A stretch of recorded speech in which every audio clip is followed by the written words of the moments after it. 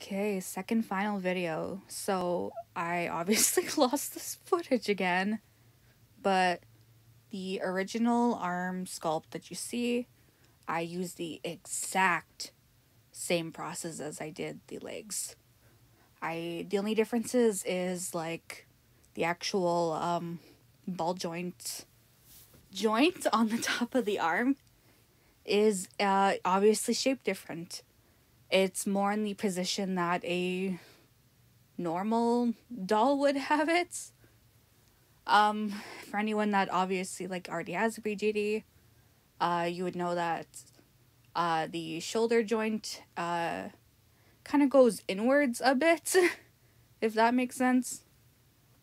So that's really the only difference. And then to make the joint, I'm doing the exact same process there is a small difference where instead of um, copying and pasting the arm and making it smaller to create the hole for the strings, um, I did just use a cylinder. The arm is pretty standard, like it's not shaped wildly or anything. It was pretty straight, uh, very unmodified from its default cylinder shape that I used. You can see I messed up the joint at first. Um, you do have to take into consideration how thin the walls are. Like I do have uh three 3D printed MSDs and um there is one where I am gonna have to probably uh modify in some way because uh the channel is too thin on it uh, and that's you know that's that's the thing that you do have to take into consideration when you are making the body. Um, which is really why i actually bought a printer. So i bought my own 3d printer. I just got like a cheapo one. Um, i got the Kingroon. Um, something something i don't know. Uh, but it's the cheaper Kingroon one. Um, i'm just gonna print it with like pla because um, I I had actually uploaded the, all these files on Treatstock to see how expensive it would be to print, and it it was so much. It was so expensive, so I was kind of like, okay, well I can, I can buy a cheap mini three D printer of this, so I might as well. So I bought that, and this way, I can now um, print everything on my own and I can double check to see to make sure all of these jointings actually work in real life. Since when you do have it just as a 3D file, it's hard to tell if everything that you're doing is structurally sound. But this way, um, I can print it, I can see where my mistakes are, and then I can go back and fix it. So, um, after the foot video, like it's it's this is basically going to be done. Um, but well, I mean it's basically going to be done for everyone, but I will come back at a later date and be like, "Hey, I'm printing this. This is how it turned out printed. These are all the mistakes. Let's fix it." And then showing like the actual final like this is the final body. Um so I'm I will try to upload um I think I'm going to upload a modified version of this body onto Treatstock where I'm going to make the hips a little bit smaller and then probably upload it as like a tiny scale, probably like 1 6 scale, but like a mature tiny or something. Um, if I ever do get it casted, I'm gonna do it as one third scale, and of course, um, since it is my creation, I could I could profit from it, but I know on Thingiverse, um, you can't uh, do that for other people's work. I know that was an issue with the Polaris, like a year or two ago, where someone um I think they took the Polaris, which is an open source file. Anyone can go and modify it and then just upload it for free. And you are allowed to like do stuff with it for free. But there was like there was like someone that took the file and like edited it it or something and they tried to do like a regular pre-order or something. Um, I don't know the full details since I only read um, the actual creator of Polaris's uh, post on it and I didn't read any other sources on it. But that's what it seems to be what was happening a couple years back, just from um, the artist herself. So, but of course, you know, this is my file. I can I can do what I want with my own creation.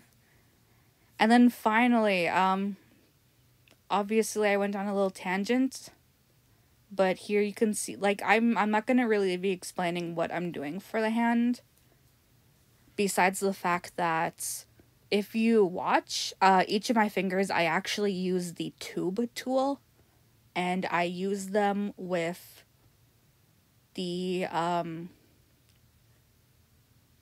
curve. I think it's called curve. Where you basically just draw uh, what shape you want and then you can edit it from there.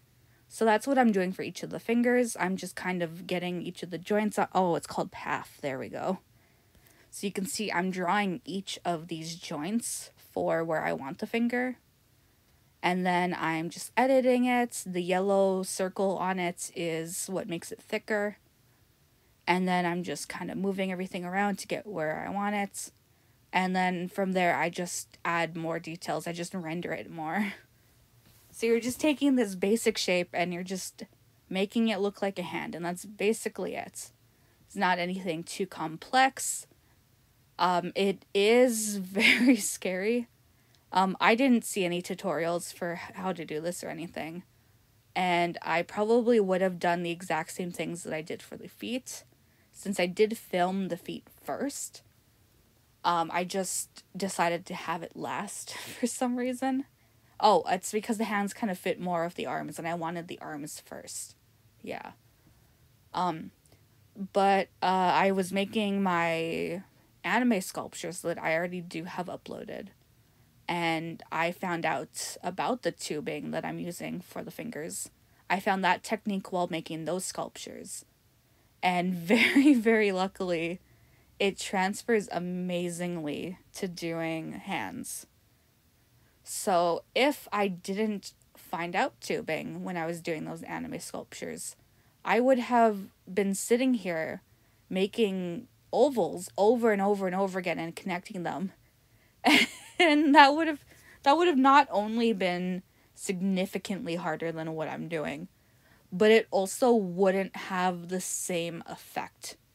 Like it would look much more fake.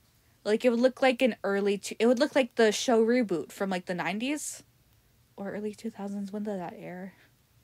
I don't know. I feel like I watched it as like a very small child um, it would look like that, where like our 3D technology was kind of wonky still.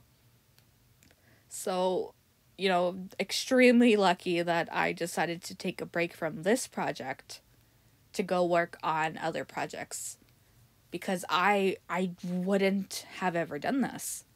And it's it's once again like it's it's another reason why you should be taking breaks while you're working on a project even then, like even for my projects, I'm still working extremely fast. I don't think other people should really be working at the pace that I am. And this is really why BG dolls like in bodies take forever to do. Because when I'm I, um, when I'm looking at this, of course, it's like, oh yeah, everything like fits. But what about when I print it? Are all these pieces going to fit together properly when I have to string this? you never know if it is until I I of course print it. So um my printer comes at the end of this week. So I'm hoping that I can get a full body printed in like I don't know, a week. Um since I am going to print this at SD size and I got a mini 3D print uh 3D printer and my build bed, like the bed that you print on, I believe it's only like uh, 12 by 12 by 12 in centimeters. So it's 120 millimeters, which means I'm probably going to have to print out like one piece at a time. If not, um, actually have to cut my pieces in half and then print them and glue them back together afterwards. Um, so I like I and I can't really I can't even say what what it's going to be yet, right? Cuz I don't have the printer. Like it's really hard to visualize how big these sizes are when I don't have it in front of me. I have I have, you know, like rulers, but that only helps me so much. Um when actually having it, getting it set up and building and you know, printing the test prints, that would show me much more like actually what the printer is capable of. And then even for like my heads, I'm gonna have videos customizing those um, eventually. But I got those prints in from Treat Stock. Um, I commissioned someone in Quebec, I commissioned someone in Ontario, and I commissioned someone in Alberta to print each of my head files. And even though I took a measuring tape and I measured on my SD dolls, I measured on my April Story Anthony. And I took those measurements, and that's how I scaled my doll for those prints. Um, those heads still turned out too big. Uh, they turned out way, way, way too big. Uh, I need to, when I print them myself, I need to cut them down by about half, honestly. Like, they are giant. and that's, you know, that's just like something that can happen, of course. Um, it's really hard to consider how your prints are going to print when you're not familiar with 3D printing like I like I'm not at all. I don't really know how it works. Um I've had periods where I like I I'll binge watch a bunch of like 3D printer YouTubers but like I still don't understand how um my doll 3D files would print in that same situation. Since of course those um channels they aren't printing doll stuff they're printing like games and weird functional things they're going to use around their house. It's really hard to get that kind of transferring of knowledge to bring these random objects into your doll files that you've been working on. Um, especially if you have no background in it, you've never worked with it. So I'm really hoping that I do get everything printed at the proper size. Um, and I mean, it's really nice that now I have these first prints and I can see all the mistakes I had. So when I print them on my own printer, I can now first go into Nomad and I can edit all the mistakes I found uh, before I print them again. Um, I'm not sure what head I'm going to do for when I upload the file. I do have multiple heads. Oh, I guess I would just sculpt a new one, huh? Um. So I, th- hmm, like now that I think of it, I do think I will try to do a tutorial for a head that has a face faceplate and then of a head that has a head cap. So um, I'll try to do two separate videos with two separate jointing techniques for the head. Um, most of my most of my dolls do have a where the neck joint is in the actual head in the face instead of the head cap. Um, I whew, I'm trying to look at my dolls right now and see what I have. Okay, so my heads that are just the the face plates are okay, so I have my Dolce Bernard and then all of my sheepy dolls, which I have um oh no, how many do I have? Okay, I have two sheepies, I have two counts. I have two pea shoes. Um I have a kelpie and then I have a uh,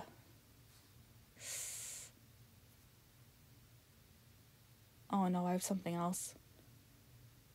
Okay, so I have like eight sheepies. So each of those have a faceplate.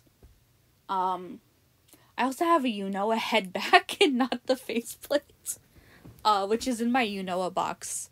On uh, Mandarake, I was very, very uh, lucky to find a Unoa 1.0 body with the head cap.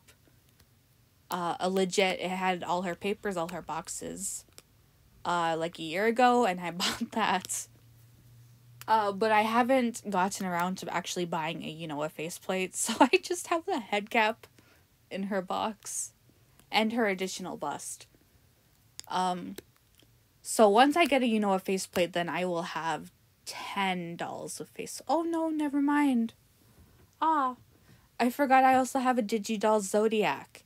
Okay, so then once I get that, you know what faceplate, I'll have 11 dolls with faceplates. And then the rest of my dolls will all be ones with headbacks. And then for dolls that have headbacks, I actually had a whole separate recording, but then I couldn't keep track of how many that I had because I kept forgetting like what dolls I have because I don't have them all on display. So I had to sit there and think like what do I have? Uh, but basically, like I, I stopped the recording and actually like sat here and I was like, okay, like how many dolls do I have? And I think I have about 23 that have headbacks. Um, I'm looking at my other dolls, trying to see if that's correct. I think that's correct. I think I have 23 other dolls that do not have faceplates, but instead have the head back. Um, and like four of those are by Doll Art by Julie, who is an Etsy seller and she 3D prints her own like you can customize your own little doll out of the options that she has. And then you can um Oh no, do I have 24? I'm trying to think. Oh my gosh. Okay, so I have like 23 or 24 dolls of headbacks and like four, maybe five of them. No, I gave that doll away. Okay. It's really really hard to keep track of what I have. Okay, yeah. 23. I have 23. Um and yeah, she also offers like uh 3D printed jointing sculpting kits. So she prints so she made and printed just like the joints on a doll and then you can buy that and sculpt your own doll on top of those joints. So she's taking the hard part, which is making the joints, and she's making it super easy so you can just sculpt your own doll like that, which I think is super fun. Um, I bought like one of those and I tried it out. And like, yeah, it works, it's great, but like I I also made my body too thick for the body, for the base. So like it doesn't it doesn't really work uh, for what I was sculpting. Because obviously you can see I have a problem making everything too thick. Oh. But yeah, that's fun. I also have a giveaway, giving away a head right now actually. It's a Charm Doll Rhea. So I had that extra head for a while and I'm giving it away on my Instagram as a Christmas giveaway since I've had the head for almost a year and like I'm I didn't really want the head, I just wanted the body. So, yeah, if anyone wants a shot at getting a free Charm Doll Rhea head with two pairs of eyes and a face up that I did, um, I am giving her away on my Instagram, sugar underscore pineapple. And it, yeah, I'm I want to get rid of the head. I tried to sell it, no luck. So I'm just putting her up for giveaway and someone's going to get that head. I I don't really want it. I'm very specific with my heads. Like a lot of my impulse like quote unquote quote unquote impulse buys are artist dolls. Since if I want a doll that's not a specific character that I already had before the doll, it's gonna be an artist doll. I really like artist dolls. I really like um affordable companies and then I also like drastically overpriced companies like Volks. It's very weird. I, I have an equal amount of Volks as I do Miro dolls. Um, I usually love Miro doll. You right now they're kind of like not giving me my order exact, so like I'm mad at them. Uh, but Volks so far has been great. Like they're very very expensive, so I don't have many. But um it is my favorite doll company, I would say honestly. I hope that doesn't sound elitist. So like here's a quick picture of the doll I'm giving away and I hope I don't sound elite like I'm 23. I've been in this hobby for about a decade for 10 oh no, like 9 years now and um, I usually buy dolls with like award money. Like after in high school, all my award money went to dolls. Like I don't have anything to pay for. I had no bills. Uh, university, um, once my tuition's paid for, once my books are paid for, the rest of that award money I usually get dolls with. Um, since I, I apply for a lot of awards, I write lots of award essays. I do all of those essays and all that, so I win a lot of those. So make sure like hey, if you're pretty good academically and you're a younger person watching this, apply for a lot of awards. Like there are awards there are awards based on needs, which I don't really do. Uh, but there are ones where you like have to write academic essays for, you need the proper grades for. And those ones you like, yeah, go for those. apply for as many of those as you can. Get your coin, get your bank, pay off your tuition, buy dolls, whatever, you know? so I've had a long time to accumulate my dolls and you know, I like I don't have to worry about debts or anything.